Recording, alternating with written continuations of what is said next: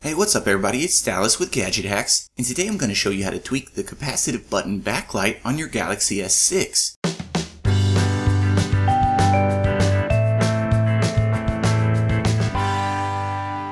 Now for some odd reason, not all variants of the Galaxy S6 and S6 Edge have a menu option for changing the backlight timeout for their capacitive buttons.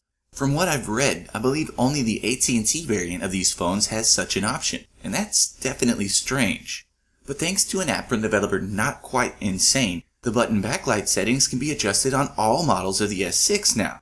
Even better, this app doesn't require root access, so there's no restrictions on who can use this. To get started, head to the Play Store and search Galaxy Button Lights. Then when you have the app installed, go ahead and open it up and we'll see what it's all about.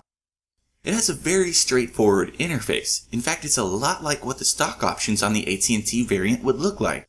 You have three options here. You can set the backlights to come on briefly, then fade away after a preset time, which is the stock setting. But this slider here lets you adjust the timeout period, so you can make the lights stay on longer or have them go dim even quicker. Or if you'd rather the lights not dim out at all, select this second option and they'll stay on at all times. The third option is the complete opposite of that. Select this one to make sure your button backlights are always off.